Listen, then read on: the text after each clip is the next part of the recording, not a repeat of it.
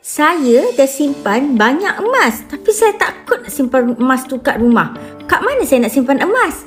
Okey, ini untuk sesuai bagi siapa yang menyimpan emas yang banyak. Ah, katakanlah hello-hello sekilo kan. Jadi katakanlah memang simpanan emasnya memang banyak dan rasanya simpan dekat rumah memang tidak bersesuaian. Jadi sebenarnya Public Gold menawarkan juga satu perkhidmatan yang dipanggil Public Safe.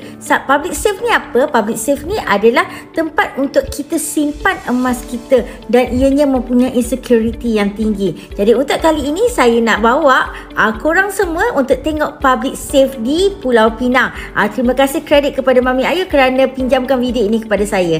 Jom kita tengok. Okay. Okay. Okay. Okay. Okay. Okay. Okay. Okay.